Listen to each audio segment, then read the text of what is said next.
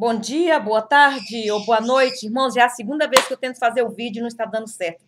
É, nós estamos aqui, irmãos, numa tempestade muito grande de neve, de vento, de relâmpagos já tivemos, mas agora a nossa cidade está em alerta geral por causa da tempestade de neve que nós estamos tendo.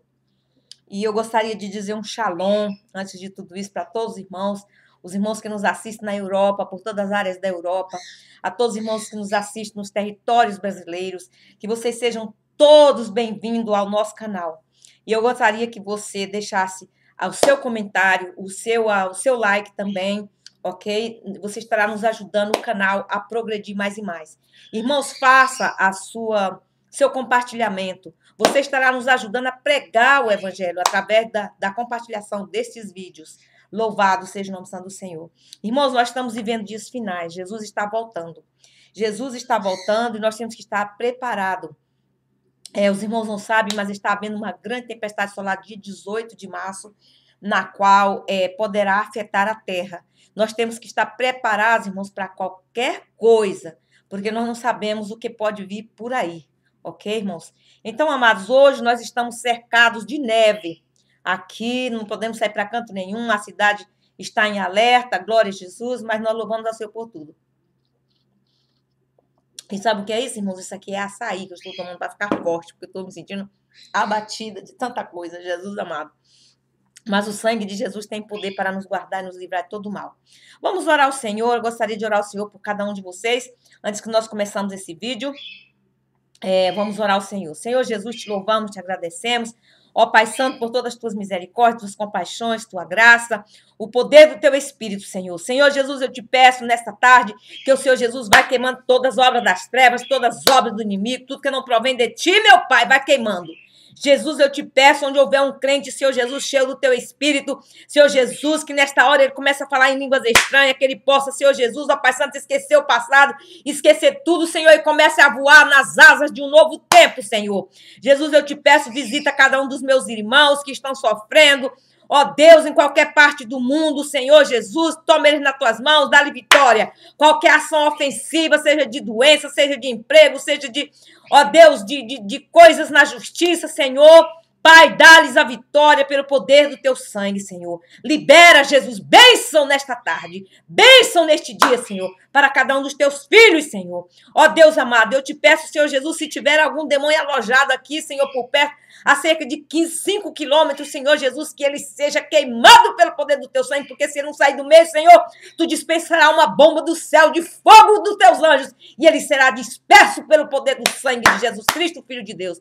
Senhor, eu te louvo, eu te agradeço, abençoa a minha vida. Ó Deus, eu vou falar esse vídeo para teus filhos, dar a vitória em nome de Jesus Cristo, Filho de Deus, Pai. Porque só tu és digno de honra, de glória e de louvor. Em nome de Jesus eu te louvo e te agradeço, meu Pai, porque só tu és santo. Obrigada, Jesus. Amém e amém, Senhor Jesus. Amados irmãos, é, como disse para os irmãos, nós estamos numa grande tempestade. Muitos irmãos me pediram que queria ver a neve. Eu vou passar para vocês um pequeno vídeo aqui, para que vocês assistam esse vídeo já é a terceira vez que eu tento fazer e não consigo fazer hoje. A nossa cidade está em alerta, não tem luz em muitos lugares, mas graças a Deus aqui na minha casa não faltou ainda. Deus é muito bom, irmãos. Deus nos preserva. Glória a Jesus. E eu vou passar, irmãos, lá para o, o, monitor, para que vocês assistam o vídeo, o vídeo na qual eu vou estar falando, explicando sobre uma grande tempestade solar. Irmãos, estejamos preparados. Pode vir qualquer coisa aí para a Terra, porque quando o Sol solta essas, essas redes magnéticas a força do sol, que é de Deus, irmãos, pode parar toda a força da terra, pode ter blackouts, pode ter muitas coisas, maremotos, muitas coisas na terra. Então, preparemos-nos, irmãos. E muitas vezes eles vêm sem aviso. Mas esse já, estão avisando. Já é três que nós temos esse ano, irmãos. Tempestade solar, janeiro e fevereiro, e agora essa de março é uma das grandes que está para vir. Então, se preparem a sua alma, o seu coração, no Senhor Jesus Cristo. E eu vou pôr o vídeo para vocês assistirem e vou passar um pequeno vídeo aqui da neve, na qual filmei hoje para os irmãos ver como está aqui o nosso estado de alerta, ok? Mas nós estamos confiando no Senhor. Um minuto, irmãos, dê licença. Outra coisa, irmãos, nós não teremos programa ao vivo hoje. Hoje nós não teremos programa ao vivo porque os estúdios de televisão foram fechados devido à tempestade, ok? Então nós não teremos programa hoje. Eu vou passar o vídeo para os irmãos assistirem. Vejam só, Ó, gente. Aí está. Hoje aqui na América nós amanhecemos com uma grande tempestade.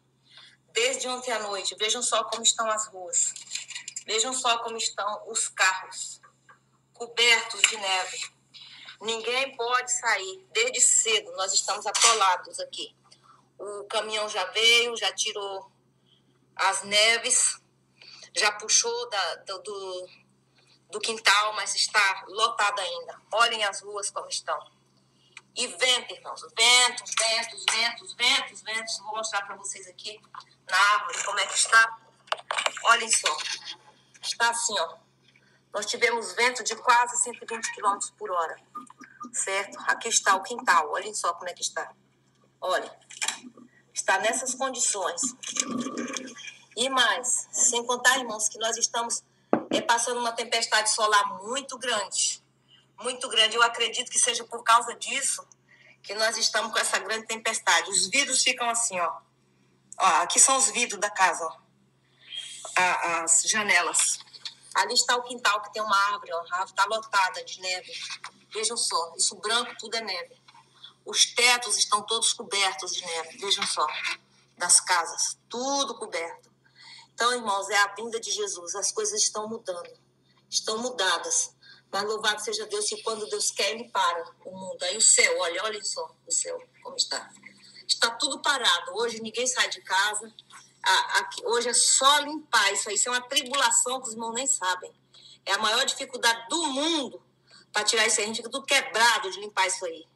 De tão forte que é. Tem que ter um caminhão para vir e limpar o principal. Já veio aqui na minha casa hoje para a gente poder pelo menos sair. Mas os carros estão super lotados. Vejam só. Estão mergulhados. Sabe? Isso ali é um carro, um dos nossos carros, olha. Está mergulhado na neve. Tem mais ou menos um metro de neve aqui dentro do quintal e na frente da minha casa. Caiu um fio na frente da minha casa, está dando fogo. Olha o tamanho daquele pedaço de neve caindo. Está dando fogo e, e, e a cidade já está ali. Pararam ali, interruptaram a rua. Então, tudo isso, irmãos, é poder de Deus. Louvado seja Deus. Aí está, irmãos, o vídeo da nossa tempestade. E agora vem aí alerta de clima extremo. Tempestade geo, geomagnética, 18 de março, ok? Então, os irmãos estejam preparados para esse alerta. Esse alerta, esse, esse vídeo, irmãos, é de suma importância. Queira publicar, passar para os outros, para que as pessoas possam também ter o prazer de assistir, ok? Aí vem, vejam bem, irmãos. Ok? Aí está o que, que é uma tempestade solar. Vai começar a passar. Aí, ok. Tempestade solar pode atingir a Terra. 18 de março de 2018. Vejam bem, irmãos. 18 de março de 2018. Tudo 18. Eu, eu tô, nisso tudo eu presto atenção nesses pequenos detalhes. Nós devemos prestar atenção em tudo, irmãos. Tentando melhorar aqui o, o Campura. Para ver se melhora, para vocês verem melhor, ok?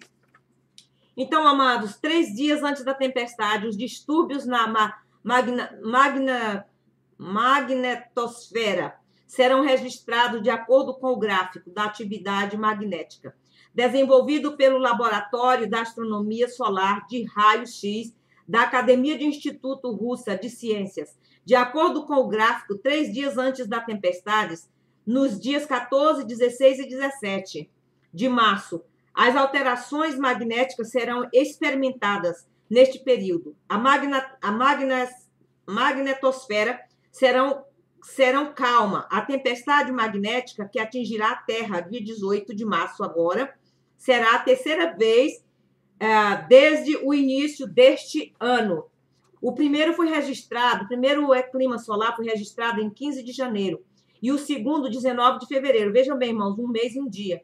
Um, e dois dias depois, agora, outro seguido, março 18 de 2018. Vejam bem, 18 de março de 2018, a mesma data do ano.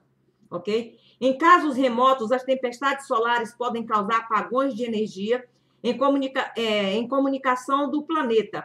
Quando ouvimos falar em tempestades, já nos lembramos na, na, nas rajadas de ventos, trovões, relâmpagos e, e estrondos, e muita chuva. Todavia, o termo não se aplica a esse evento natural na Terra. A explosão de partículas superaquecidas na superfície do Sol podem gerar efeitos de um fenômeno conhecido como tempestade solar no nosso planeta rei, quer dizer, o Sol. Ou erupções solares, as atividades desenvolvidas no núcleo do Sol, ok, irmãos? As atividades desenvolvidas nos núcleos do Sol. É uma produção de energia muito grande nuclear. Nesse processo, é, liberam é, prótons e elétrons, e elétrons que são atraídos e acumulados em campos magnéticos. A grande concentração destas partículas causam explosões que, por uma vez, produzem ventos que podem atingir os planetas no sistema solar. Essas tempestades ocorrem com mais frequência durante o período mais conhecido como o máximo solar, ou seja, quando o Sol está no pico de atividade magnética, o que acontece a cada 11 anos. Em alguns casos, tais é, tempestades podem interferir na vida aqui na Terra. No entanto, o planeta está protegido por um campo chamado magnetosfera, que impedem que as rajadas solares atinjam a atmosfera, ok? Prova deste grande fenômeno de proteção são as árvores, é, as auroras boreais, ou auroras é, polares, que, apesar da beleza, refletem a autenticidade do bombardeamento de tempestade vinda do Sol. Impacto na vida terrestre. Os ventos provocados pela explosão dessas partículas superaquecidas atingem o campo magnético da Terra e, em casos remotos, a atmosfera causa interferência em alguns instrumentos usados pelos homens. Isso ocorre porque os, as partículas se deslocam do Sol e geram correntes magnéticas que podem alcançar o solo. Ok, irmãos? Vocês estão vendo aí as partículas, o que, que é uma explosão solar, ok? Então, as rochas da superfície terra é o que causa é, é o que causa perda na revolução de tensão das distribuidoras de energia e em comprometimento das ondas de radiofrequência. Em 1989, um blackout ocorrido na província de Canadá teve como justificativa as alterações ocasionadas no campo magnético da Terra pelas partículas que saíram do Sol. Além dos espetáculos de luzes no céu, milhares de pessoas ficaram sem eletricidade durante horas e a, comuni a comunicação via rádio ficou fora do ar. Em um caso mais extremo, linhas de clégrafos foram rompidas no ano de 1859. Na ocasião, alguns telegrafistas receberam choques é, elétricos em qualquer postes, em, em alguns postes produziram faíscas por causa da descarga gerada pela tempestade. Eu não quero que o, que o vídeo aqui acabe antes que eu termine de falar. Ok? Tá bem. Mas continua. Continuamos.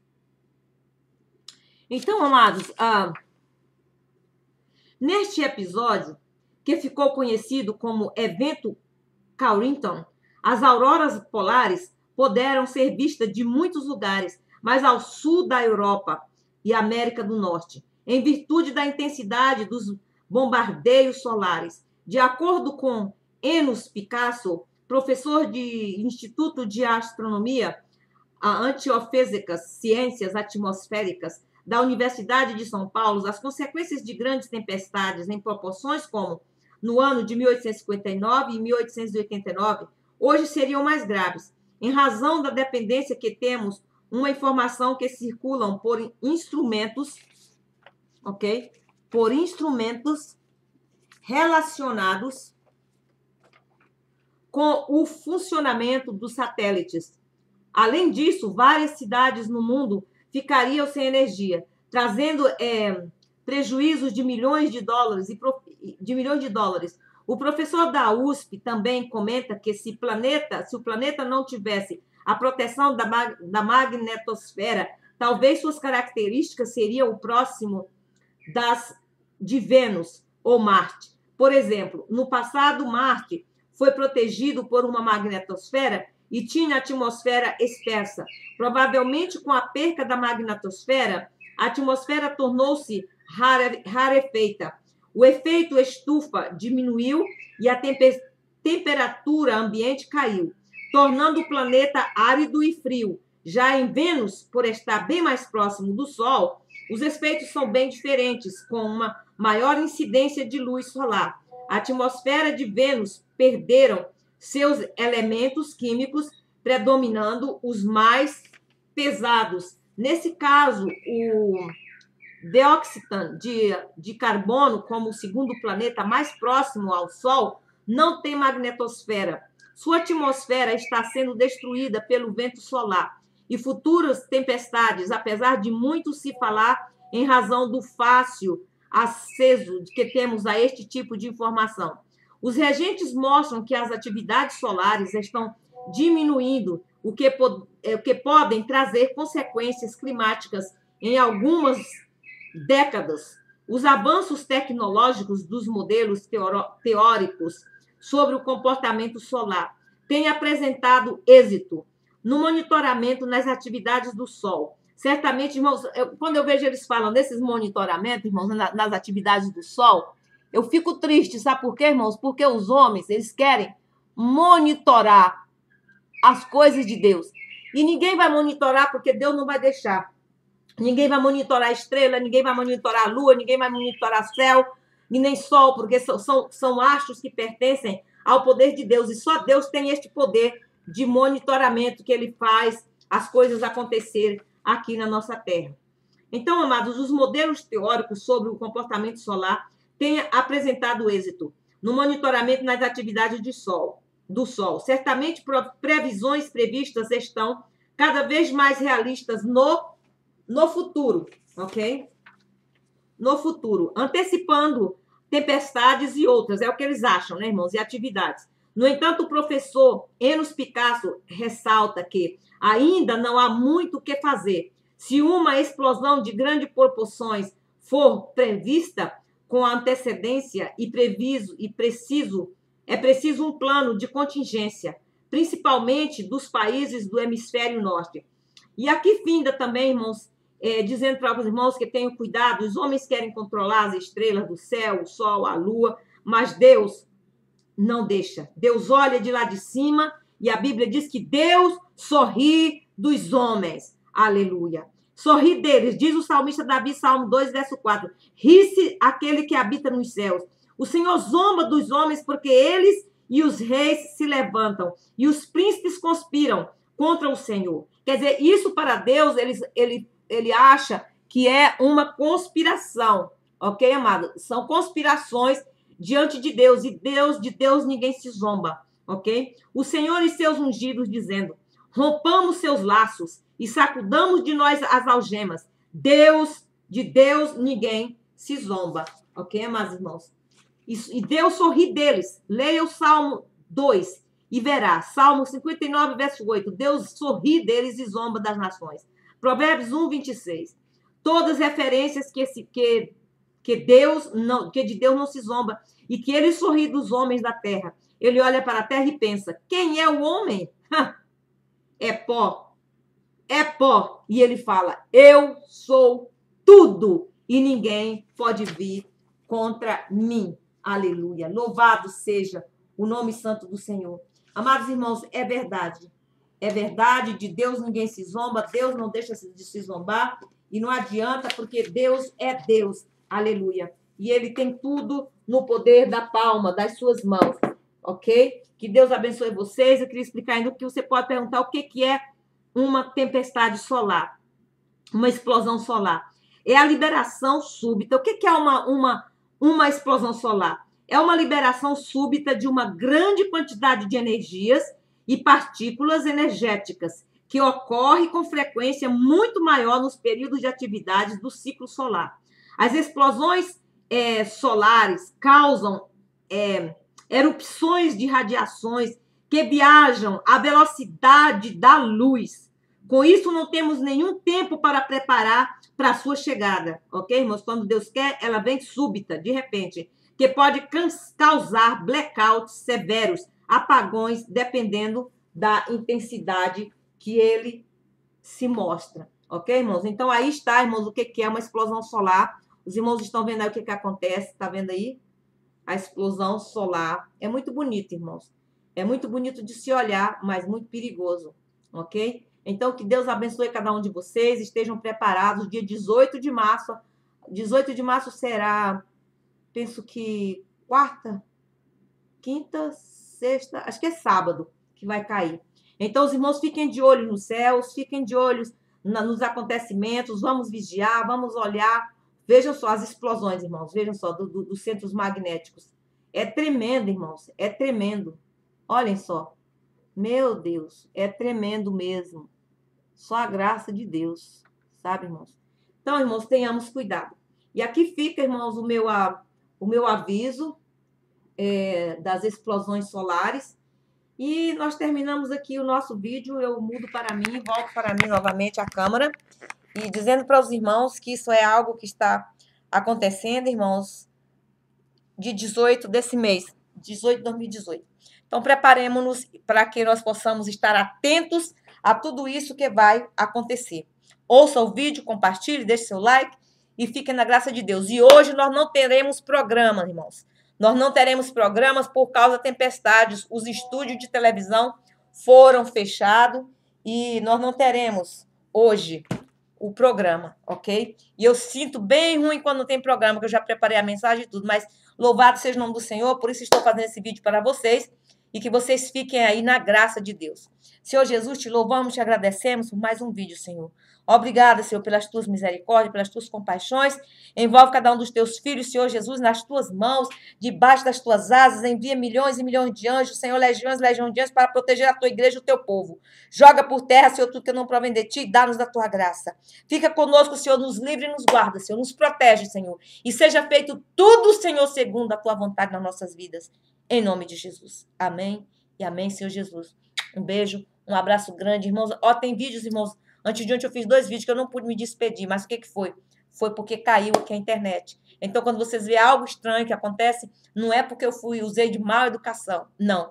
É porque a internet muitas vezes cai. Nós estamos aqui num, num lugar na América que cai muita neve e quando isso acontece, irmãos, atinge os meios é, de comunicação. Eu não sei, Deus tem me abençoado, eu tenho luz na minha casa, mas a maioria da cidade está sem luz. Meu filho mesmo na casa dele não tem luz, no outro não tem, mas louvado seja Deus que eu estou aqui na luz, na luz.